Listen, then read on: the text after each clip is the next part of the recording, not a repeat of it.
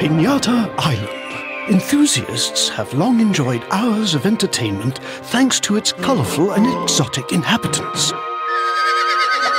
Between the recent discoveries of the unique polar Pinarctic region and the equally mysterious Dessert Desert, the island's pinata population promises to swell to over 100 fantastic varieties.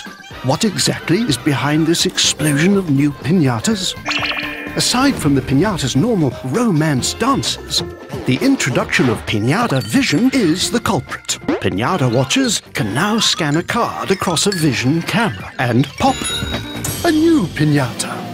Alas, it appears that the island's rapid growth has also led to the increasing sophistication of one of its few natural predators. Have a look at this shocking amateur video.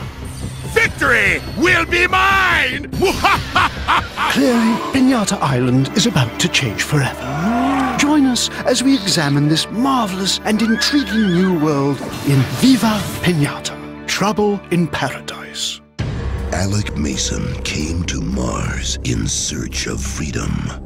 But instead of finding man's next frontier, he found a world gripped by oppression. I just watched the EDF waste an entire town.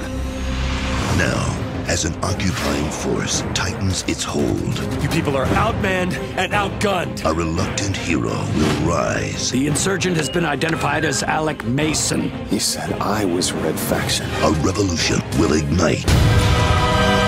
And the war for Mars begins. I'm on it.